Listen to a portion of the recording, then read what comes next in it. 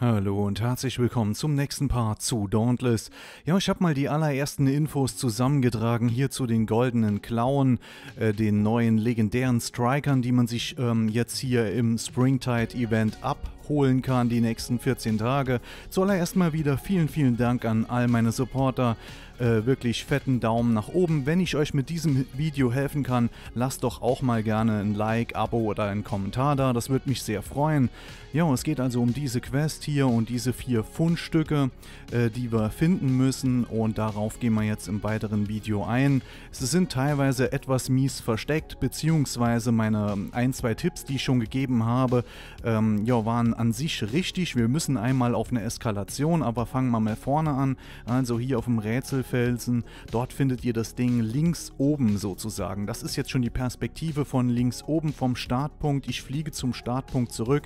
Ihr müsst euch also links halten, dort diese Sprungfelder hier nutzen und dann an diese Stelle gehen, wo ich gerade war und dort findet ihr die erste Kiste. Die ist eigentlich noch relativ easy zu finden, würde ich mal behaupten. Ähnlich wie beim Paradoxonbruch, auch wenn das mies versteckt ist, aber es ist relativ offensichtlich, wo könnte das sein. Da bin ich hier zur Hauptarena ganz am Ende gegangen. Dort muss man dann hier durchfliegen. Das war eigentlich relativ offensichtlich. Äh, da habe ich mich zuerst links gehalten an dem alten Fundort glaube ich, wo man irgendwas abstauben konnte. Aber wenn ihr hier rechts schaut, dort findet ihr dann die zweite Kiste. Äh, das kommt jetzt gleich. Äh, da hat der gute Monty sich nochmal neu orientiert. Ja, und äh, da findet man das Ding dann gleich hier hinten dran. Da ist das Ding wunderschön, traumhaft. Auf den Brandwerken, das ist dann, äh, ist dann tatsächlich ein bisschen mies. Dort müsst ihr euch vom Startpunkt äh, direkt links halten, was ich hier wunderbar zeige, weil ich hier an den Pflanzen hängen bleibe.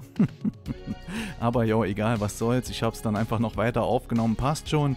Ja, dort müsst ihr ganz hinten links jetzt ähm, die Insel hochklettern, sozusagen, oder diesen kleinen Hügel hochklettern. Insel ist es ja nicht wirklich. Jo, ähm, diesen Hügel hier vorne, den müsst ihr hochklettern. Auch eigentlich ein offensichtlicher Spot, wenn man sich ein bisschen mit der Map auskennt. Ähm, jo, äh, ich habe zuerst mal in der Mitte rumgesucht und so weiter, dort wo die Bosskämpfe stattfinden. Aber jo, dort war nichts. Ihr müsst hier links hochklettern. Ähm, jo, hier an der Stelle. Ich denke mal, das ist die einzig zugängliche, keine Ahnung, vielleicht gibt es auch noch außen eine Sprung, äh, so ein Sprungfeder-Ding, keine Ahnung. Ja, dort oben findet ihr dann diese Kiste, wunderbar.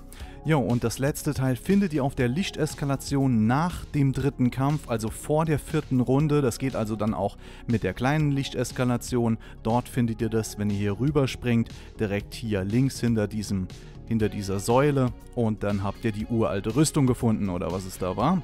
Jo, das war's soweit, dann müsst ihr die Quest abgeben, bekommt die Golden Claws.